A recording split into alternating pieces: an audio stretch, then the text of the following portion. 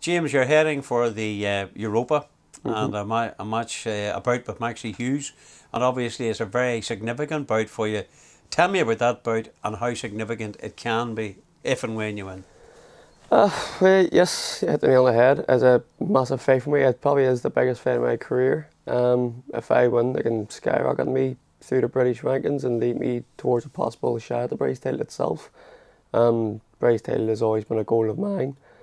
Um, if I win this fight, yeah, it'd be phenomenal. Uh, my career will shoot sky high. Can't wait. So I'm putting everything in this fight. I'm currently the headline of the of the show itself. Me and Maxi. Um, I'm sure he's putting in hard trains. I know I'm putting in double the amount too. So yeah, it's going to be a hell of a fight for me.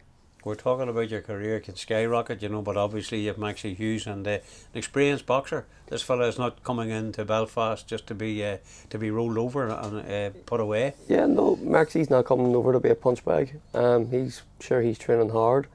Um, he's a smooth, slick operator, southpaw, so uh, he's going to be a tricky opponent. Um, he's great experience. I'm sure he has 18 fights. His two losses have came from a current lightweight British champion, and the second defeat came from a controversial, uh, controversial draw with Martin J. Ward. And in the rematch, he had to retire with a badly damaged nose. So he's been in with good fighters and uh, he's held his own. So I'm expecting a tough, durable opponent, and I'm expecting to go to 10 rounds. I know we said at the start, and I hate to repeat myself, but this is massive for you. A victory here, British title shot, that is really very, very special. Ah, it's, it's special indeed. Um, Mark's worked ever so hard to get me the, the chance I have right now. So I'm putting, I'm making sure I'm putting in the effort so that I don't let him down, let myself down. Um, I know if I could beat Maxi, uh, I will have a really good shoe on my foot. So I'm really putting in the effort for this one. You Yeah. talk about the efforts that Mark's doing. I'm looking at your, your shirt as well. To be obviously, McLean's the headline act on Yeah. on the uh, shirt, but so many sponsors. So clearly, Yeah. this man is working and trying to work every avenue to ensure that you're looked after for the future. Yeah, uh, definitely, Mark. Uh, 110% every time. Uh, as you can see from the many sponsors, uh, he has everyone, well, let's say tortured, but let's say he has everyone No, it is torture. riled up. he has everyone ask, can we get behind us? Because he puts great faith into us. Uh, me, Hyland, Tennyson, Fitzpatrick, so on and so forth. He puts that much into us, so in return to him, we try to give our everything in the ring.